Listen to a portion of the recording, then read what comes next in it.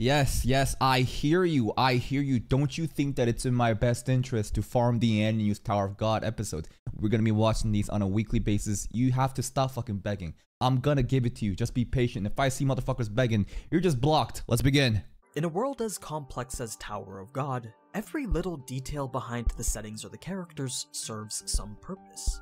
The webtoon goes to great lengths to develop this fantastical environment, they present us with a story that's shrouded by mystery, then slowly revealed layer by layer. And a lot of this development that helps to enrich the mystery we soon become. I feel like this kind of just looks like spoilers because these are scenes that I haven't even seen in episode 1, but it's out of context, so does it matter? Become captivated by takes place in the early chapters. Lucky for us, most of it is covered in the anime. But just like with any other adaptation, there's some stuff that isn't. So, just like how we did with Shield Hero or Goblin Slayer, allow me to take you through each episode of Tower of God and showcase what exactly didn't make it to the anime. Yes, sir, but why do I see only 10 episodes here? Why why why why is there 10 episodes here? Where where where where's till episode 13? I thought I thought there's 13 episodes. What what's going on with the last 3? Is there is it is it alive? I, I what's going on, man? And hopefully this new series will give those of you who haven't read the webtoon the most complete Tower of God experience that you can get.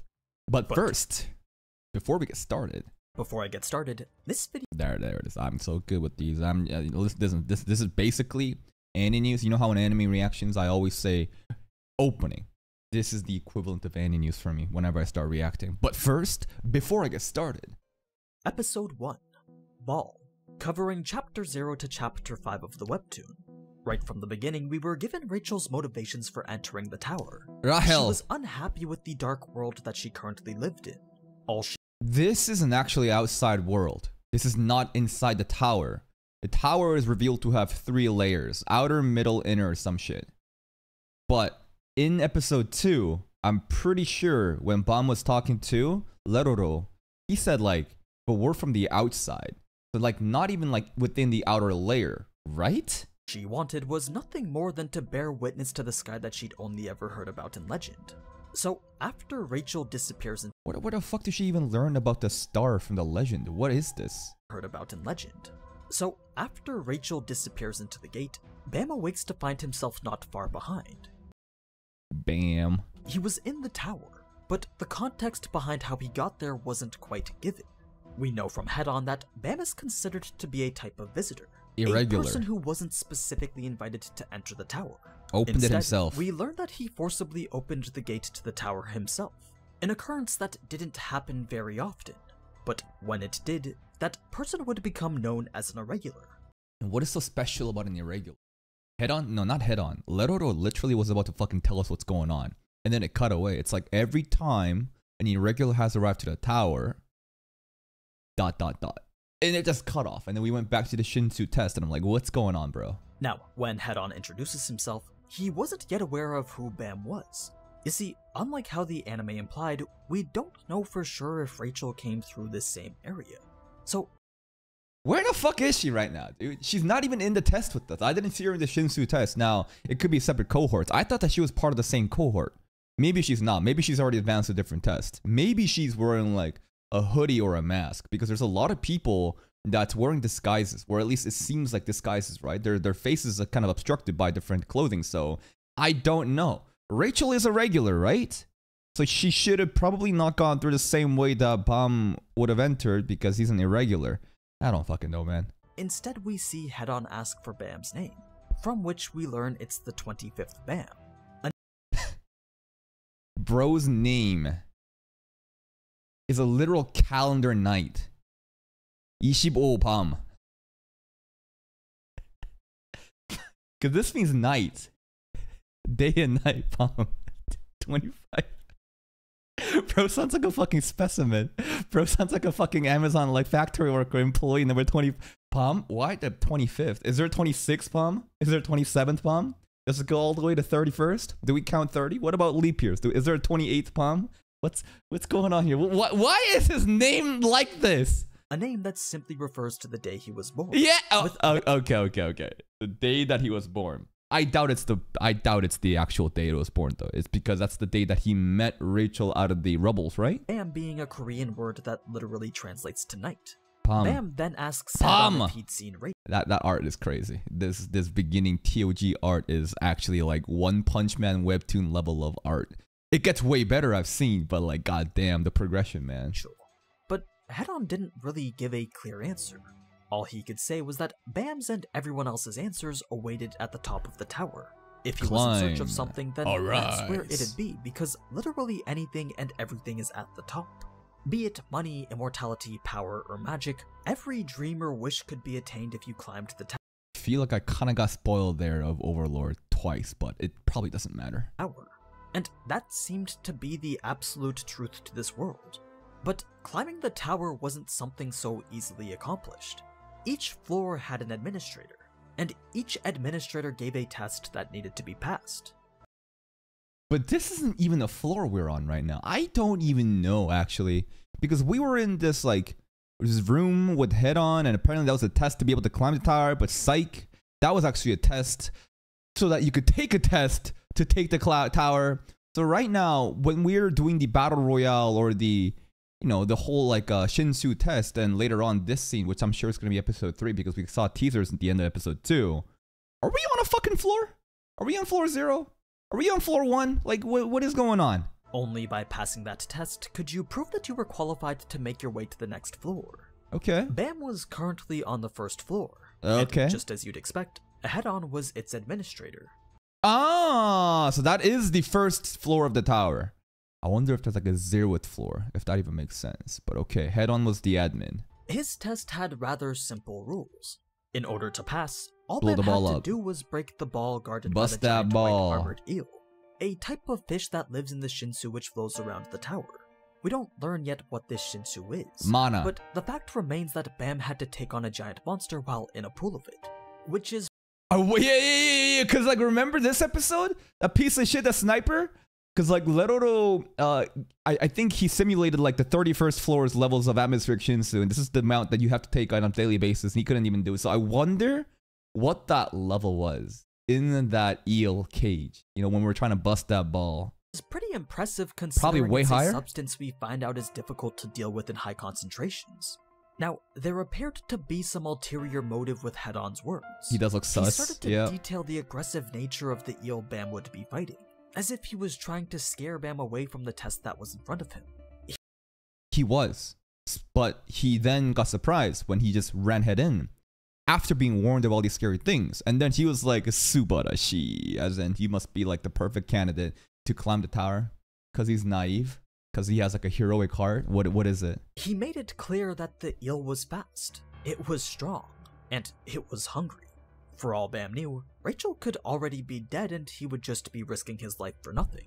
Those were the things that Head-On wanted Bam to think about. Imagine Rachel is he was testing Bam's No way. purpose. Was his determination to reach his goal enough to overcome the fear of certain death? If not, then he should just leave now. Bam heard these words clearly, but he knew if there was even the He slightest chance for him to see Rachel again that he would take it. So, without hesitation, Bam charged forward. And you know what? I feel like uh, I hope I'm proven wrong, bro. But like, if this entire fucking season he's just simping over Rachel and constantly kind of like throws his needs away to chase after this girl that doesn't seem like he even cares about him, bro, that's gonna fucking suck. I'm gonna be fucking upset. But I guess there needs to be some kind of build up. Maybe there'll be like a really cool character development scene where he's like, "Hmm, Rachel, I don't need you anymore. I'm locked in. And then he fucking goes with a different girl. Goes with Khun actually. Yeah, fuck Rachel. Go with Khun. Go with Khun and Rak Wraithraiser. Who the fuck needs Rachel, bro? She left us. But it kind of makes sense because like he's like a hatchling that first hatched out of the egg. Well, came out of the rubble. Saw Rachel. Rachel like taught him like how to like read, write, basic ways of life. I tell, taught, probably taught him how to wipe his own ass. She must be like a god to him, right? Like some kind of like mother figure. I don't know about love, maybe like motherly love, but I don't think this is like a girlfriend interest. I think bro just literally looks at her like, "Holy shit, you must be my mother. I'm the first. You're the first thing that I've ever seen." So it makes sense that a small boy like him would act this way.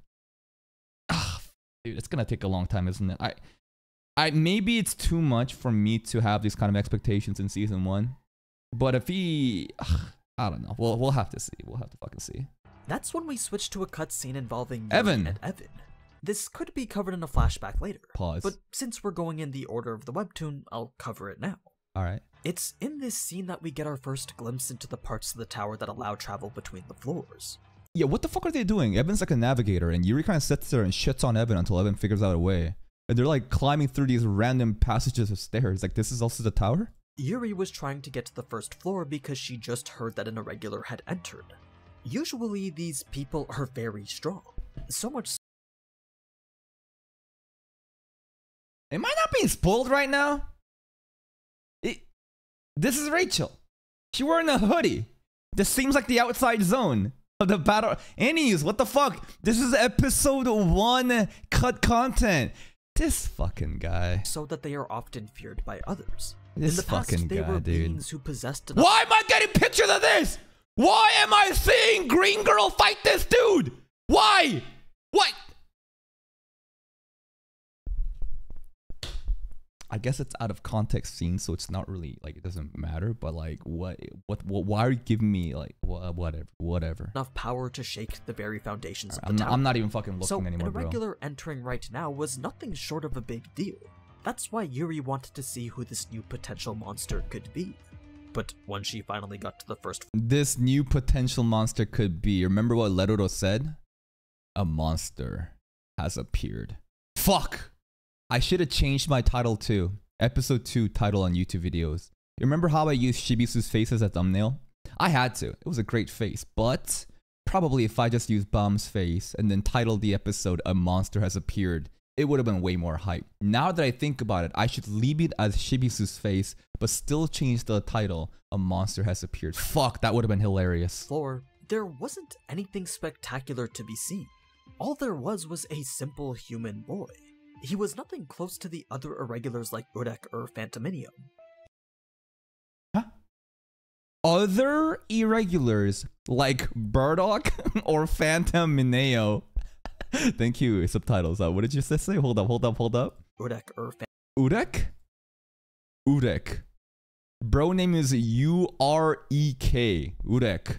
Urek or Phantaminum. Phantaminum. Other irregulars. So we know three irregulars now. Urek, Phantaminum, Bam. Yuri wondered if perhaps this boy had some secret power like metamorphosis, but Evan could only comment on how normal Bam looked. Sure, he looked a bit agile, but Can you guys go to this video and scan through the rest of the video and let me know if there are spoilers? Because like if I go through this shit and this dude like spoils some important shit in the future, like he surely wouldn't do that, right? There's there's no way. AniNews is pretty good with the you know not spoiling shit. I, I I doubt that he's gonna spoil me with important shit. He just showed me out of context, you know, screenshots of the show, so I don't think it matters too much. there was absolutely nothing unusual about him. That's why when they saw that the test was the ball guarded by the white armored eel, they thought for sure it would be impossible for someone as weak as Bam. It Sure. became clear that Head-On was trying to get Bam to back down or fail. The test was just too overwhelming. Yuri's reasoning for the situation was that she believed Head-On disliked the chaos that irregulars brought to the tower. I mean, this type of test was typically kind of reserved chaos? for those above the 20th floor. Like what kind of chaos? Okay, so we're already doing shit that should be reserved for 20th floor above. Damn, it's crazy. But like, what kind of chaos? Irregular causes chaos? It sounds like, because there does seems to be some kind of like um political system already, right? With the king of Zahad, the princesses. Aside from that, I don't think we know any other factions. There's like floor administrators, and then there's the king. And I'm sure the king rules over everybody because it's the fucking king. Irregulars comes in. Have they been disrupting the status quo? Like the politics of this world? How things should be run? How things should be maintained? Every time an irregular has shown up, shit just went into chaos. Like Pete, those irregulars just didn't follow the rules and like fuck shit up. And then King got mad, and then King told you know head on, no more irregulars. Wh- wh- what is that? And even then, this one was still a harder variation to it. On the other hand, Yuri didn't seem to mind this chaos at all. In fact, she looked as if she yearned for the type of excitement an irregular could bring. Yuri's just horny for a cute boy, isn't she? So, when she saw that Bam was still going to take the test even though the odds were stacked against him, she couldn't resist dropping in to lend a hand. You see, this whole time Yuri and Evan were watching Bam from above. That's how they were able to make their timely entrance. As it was in the anime, Bam couldn't understand what Yuri was saying without using what's known as a pocket. Language Apparently, translation. it was the job of the administrator to distribute this tool, but Head-On said that he simply forgot to, which was rather odd considering he's supposed to be the oldest administrator within the tower. Sounds intentional. Sounds like he wants to set up Bam for failure because he doesn't want irregulars. Like we said, right? We it, it- it's it's probably in his best interest to not give Bam the infrastructure, the tools to succeed. Regardless, it was a tool that Bam needed to have. So, Yuri called Evan down from where they were to give him one. At first, Evan was pretty reluctant, because assisting Bam would be against the tower rules. Even being at the first floor was something that could get them into a lot of trouble with the king. But as Yuri's navigator, they were pretty much a team, and since Yuri was already down there, it didn't really matter anymore. Plus, Evan had a couple extra pockets that Bam could use. Here's a pocket for you. Someone like Bam would receive an E rank pocket. Lucky for him, Evan too? and Yuri were high ranked rankers, which is the Rankers, title. They already climbed to the top of the tower. But it's the hot princess. I'm a sure. I'm, don't they like spawn at the top of the tower? title given to people who have already ascended the tower. That being the case, the only pockets on them at the time were of the A rank. Now, the reason these pockets even have a rank to begin with is because they do a lot more than simply translate different languages to the common tongue of Mexes. What did You they? could What? say What? it Mexes? was every person's key to survival, but that alone wasn't going to be enough to pass the test. The skill gap was still far too high. You see, Bam was different from any of the other irregulars, so it wasn't fair to test him at what Head-On considered to be appropriately leveled. Urek, Phantaminum. Both irregulars, but Palm is like even more different. Like those two are different, but Palm is like even more different. Head on decides to give him a test that scales even harder. The potential, the amount of glazing they're doing for Bam in this show, and yeah, he's the fucking main character. Of course, he, he needs to be have just like infinite potential. Different as in weak? Didn't he just see appropriate leveled? Hold up, hold up. You see, Bam was different from any other irregular. So it wasn't fair to test him at what Head-On considered to be appropriately leveled. Yeah, it wouldn't be appropriate to consider him what's like. Why give him a level one test if he's level one? Give him a level five test because he's even more OP. So, because Yuri was making such a big fuss out of it, that's when Head-On decided to mix things up a bit. He suggested loaning the Black March to Bam. I guess he did give him like an advantage. No, no, no. He was ready to send him in, and then Head On was like, "Nah, this gets built different. Just go and fucking bust the ball." And then Yuri was like, "Hold the fuck up, you're insane. Give him something to fucking work with." And then Head On was like, "All right, Black March." Now, Yuri didn't just give it to him because of his cute face, though. Did she also want to see if he could actually pull the Black March? Because like she can't do it. Because Black March is just is not into the Yuri. I'm sorry. Black March only cares about cute boys too. I guess just like owner, just like master, huh? Just like how Head-On did, she first questioned his determination and resolve, making sure that he was prepared for the worst. Death was more than likely, but it also wasn't something he feared. What Bam feared was Losing Rachel is more scary than dying. something far worse than death. And that's exactly what Yuri saw. So she had no issue with lending out the Black March Yeah, there's a lot of different swords here. I don't see a mark of Zahad on the left side, so maybe these are not also Zahad blades. Also, they might be in a different opposite side or lower upper. Who fucking knows? But more weapons in the arsenal here. to him. The Black March was a special type of weapon. At its core, it's what's known as a needle, mainly used to stab and pierce. And That's why the blade doesn't look like a blade.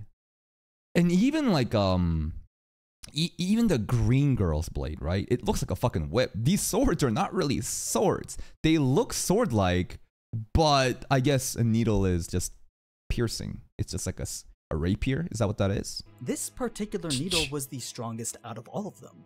It originated from a collection known as the 13 month series, created Are they all needles?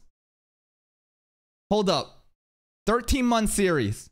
So obviously, Black March, what I say, right? Color month. 13 month. 13. Hold up. But there's only 12 months in a in a year. uh, uh, the calendar year. What? The thirteenth month. Okay. Uh, who knows?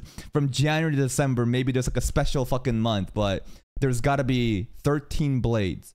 But of all of them, are they all needles? There must be like may- maybe like four of them are needles, and like Black March is the strongest out of the four. Um, it's it's an arbitrary number I'm giving. Who knows actually how many needles there are?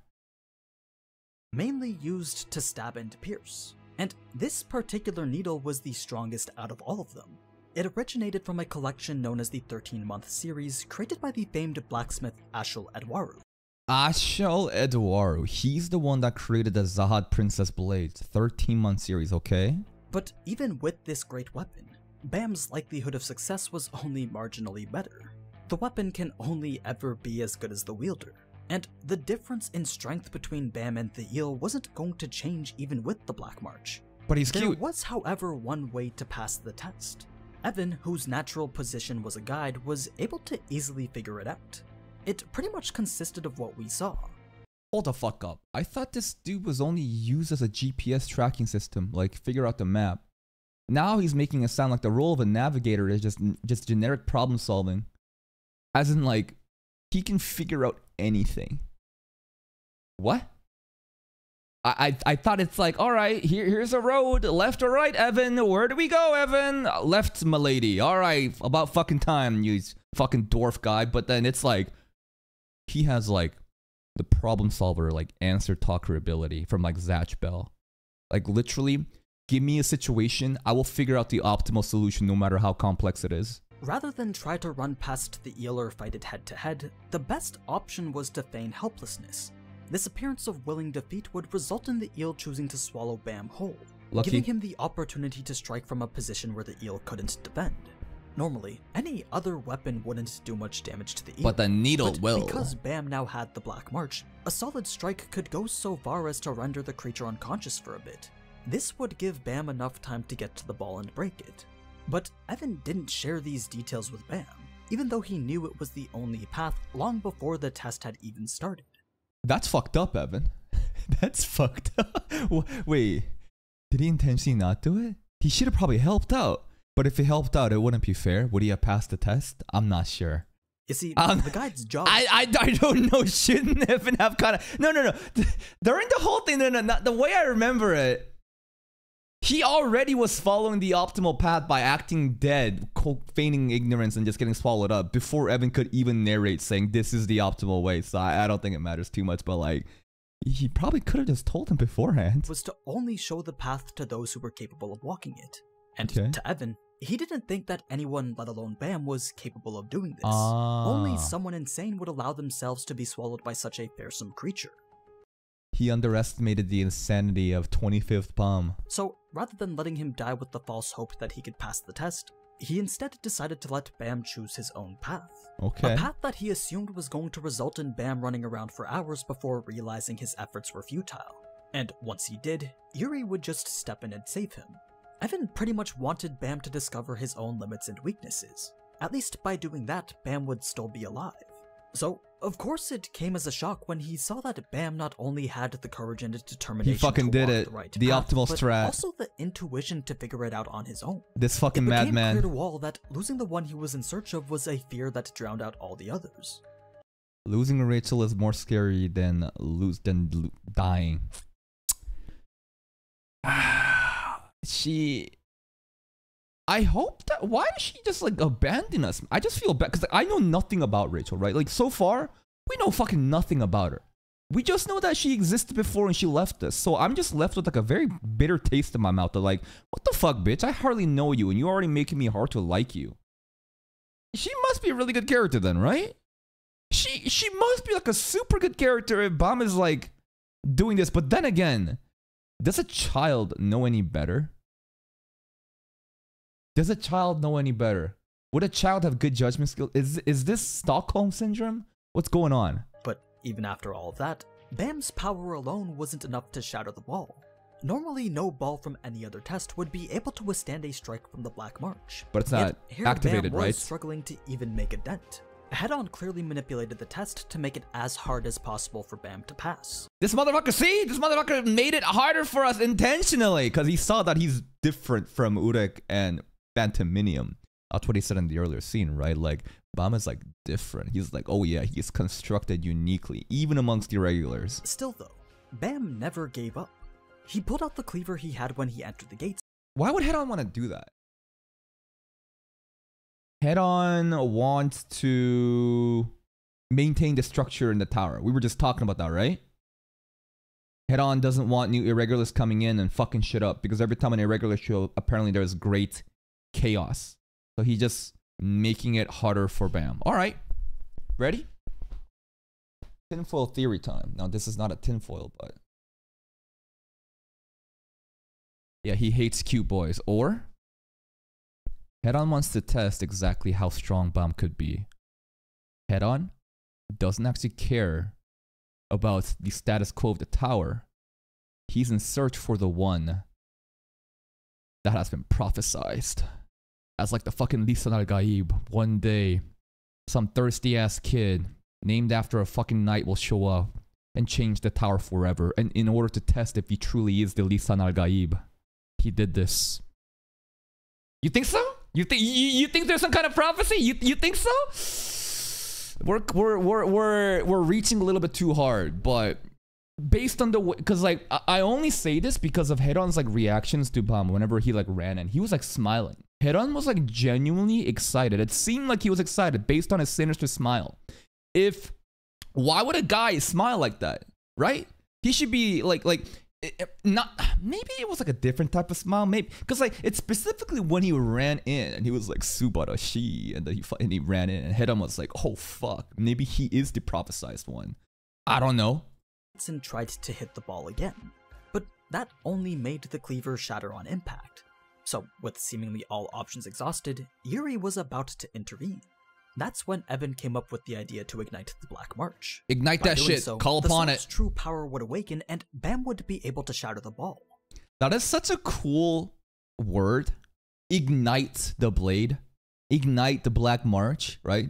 Basically it's basically like activating it pulling from the sheath like unre- like releasing the shikai like bankai. It's kind of right? It's basically make the blade to its full potential but the word ignite that's so unique The thing is, not even Yuri had been able to achieve such a feat. honestly it kind of makes me think of like beyblades because like the needle kind of looks like a cord like it's like a bendy cord so when i'm thinking ignite i'm thinking like pulling the fucking beyblade cord and then like the friction and it's just causing like the ignition you know This is because the Black March was a sentient weapon. It's possessed by the spirit of a girl who only lends her power to those that she likes. Is hold up hold up hold the up so black march is a sentient weapon but is every other weapon also a sentient weapon like the green girl with her whip i wonder if black march is the only sentient weapon it would be cool if each you know 13 series had its own special like person like for her for example possessed by the spirit of a girl who only lends her power to those that she likes. And Yuri wasn't one of those people. She always did find it difficult to make a conversation with it. this art is crazy this, this get lost girls this guy is mine She found that the Black March was somewhat of a free-willed tomboy that liked to do as she pleased. The two were actually quite similar to each other. Man, what kind of tomboy looks like this? God damn, I need me some tomboys. So, Evan had a feeling that if anyone could appeal to the Black March, then it would be Bam. Cute boy, he yo. wasn't quite sure why, but there was something about Bam's character that attracted people to This is cute. That's the whole thing. Episode one, the fucking theme of the story is be cute and you'll get lucky. and he felt that whatever it was, it could possibly work on the Black March. So, as Bam called for the Black March's help, its spirit revealed herself from the needle. And she too asked Bam what his purpose for climbing the tower was. Hmm. What type of desire was pushing him forward? Pussy The money most common weed. answers were almost always money and power. But when Bam said that he was only looking for Rachel, even the Black March was She said that was boring, right? She's like, what? That's fucking lame. But here's my powers anyways. confused as to what he meant. Was this Rachel some sort of jewel, a position of power, or perhaps one of the most beautiful women in the tower? The real answer was that Rachel was none of these things. To Bam, she was simply a precious friend that he wanted to see once more. Precious friend. I I think that she's more like a mother figure, but okay, like some kind of guardian, but okay. Now, even though it was a boring reason, the Black March found an interest in the young boy standing in front of her. because it was so unique. For the first time, the Black March ignited. What this meant was that the Ignition! power increased to the point that it was able to shatter the ball. But the way that the ball burst wasn't anything like Yuri had seen before. There was something that Head-On did to it that made it different from the others. He was clearly planning something. That smile, that smile, dude. The plan remains completely shrouded by mystery. That dude, I I I just feel like Head-On really wants Bam to succeed. I feel like this entire test was not to like be mean to Bam, but like really see like are you the prophesized child? I hope there's a fucking prophecy, bro. Bro, if there's like this like Lisan al kind of prophecy, like the people having like the tower has been waiting for centuries for this kid to show up and change everything. Oh, I I, I love plots like that. That's why I love Dune so much. I don't know, something about religious fucking cults and prophecies is just so compelling to me. And like, yo, if he is like the child of prophecy that we've been waiting for, and Head-On's like, this is the fucking one. Give him the black march, let him go fucking in. Oh, oh, bro, that'd be so hype. something. Though that plan remains completely shrouded by mystery. There were a few hints though as to what it could entail and who could be involved. The first was that the test he prepared for Bam had a difficulty equivalent to the value of his wish. So, considering the extreme difficulty of this initial test, this could imply that there's more at stake with Bam's wish than perhaps even Bam realizes himself. The wish to find Rachel was scaled with the difficulty to. Te- I wanna, I wanna. The wish was I wanna find Rachel, right? What was the wish? I wanna find Rachel. Help me find Rachel. I, I need to climb a tower. Let me, let me find. It's, it's all about Rachel. So something about Rachel there is quite significant if the difficulty of the test scaled accordingly. Okay. The second was that after everyone was gone, Head-On appears to be talking to an unknown person. He asks that person if they watched Bam succeed. Did break the fourth wall in the anime, right? Because he does this thing with the wand, and he and then and then the, the eel is like disintegrated. Didn't he break the fourth wall? He like talked to us, right? almost as if to imply that the person watching expected Bam to fail. But now Who's that watching? he had passed, Head-On now wanted to know what this person was going to do next. Now, the only hint we have towards this person's identity was that they Miss. female. Other Miss, there was a girl watching the entire time. Rachel, Rachel was watching. Uh, Is she that important that an admin would fucking? I don't know. I, I have no idea what this Rachel is. Maybe Rachel is a hidden princess, guys. Like, whoa, plot twist. Rachel's last name it was Zahad all this time. She has a princess blade. Whoa. I don't know. This is, uh, it's beyond me who this miss could be. King Zahad, Queen Zahad, Rachel, another princesses, an admin on a different floor that's expecting Bam. Maybe that makes sense, right? We're, we're about to go to the next floor, right?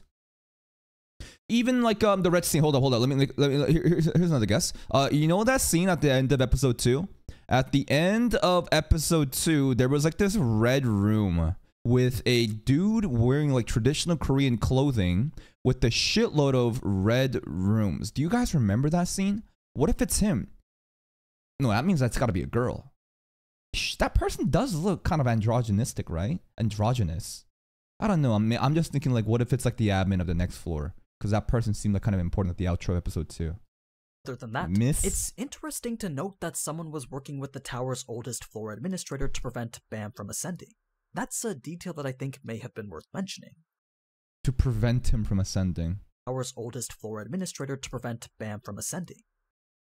This miss was trying to prevent Bam from ascending, which kind of then contradicts like my entire theory of Head-On trying to help and trying to, you know, believe in the prophecy kid if such a thing exists. But I'm still gonna go hard with it. I I want to die on this hill. This like prophecy is compelling to me. I want to say that Head-On is operating with his own means. And this Miss person, while she may have not wanted Bam to like ascend, Head-On secretly did want to and was trying to actively support and kind of test it.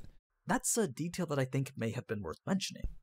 Anyway, before cutting straight to the next floor, there's another scene with Yuri and Evan traveling again.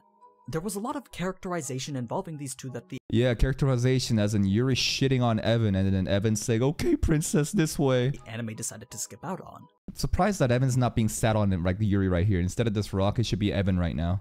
In this scene specifically, the two are making their way to the second floor to find Bam and get the Black March back. How bad is the spoilers? You said it's out of it's you, you said it's like um some scenes. Ah, it's not too bad. It, it, this this seems like you know a next test kind of scene, so it shouldn't be too bad. While doing so, it seems Is it that bad? Like it, it seems like we already got spoiled of the green girl, you know, fighting some dudes in some kind of arena. And if I look ahead to like 34 preview, it kind of just looks like that. So it's probably not that bad. that Bam had left quite It's already too late. His unyielding determination to find Rachel made Evan think about his own past. Was he at one point during the early days of climbing the tower similar to Bam and his idealism? Or did he change somewhere along the way and to become a different person? Evan Whoa, whoa, whoa, whoa, whoa, whoa, whoa, what? made Evan Evan is having like an existential crisis. think about his own past. Was he at one point during the early days of climbing the tower similar to Bam and his idealism? Or did he change somewhere along the way and to become a different person? Ah, Bam is like showing such determination and resolve that you would think is insane to the average person, but these all come from like a naive kid that doesn't know any better but has a lot of ideals, and then basically Evan's forgotten about his dreams, is what he's saying. Evan couldn't even remember anymore why he first entered the tower. Gotcha. That journey was so long ago that he wasn't even sure why he became a ranker. So he wondered if Bam would one day reach that same point.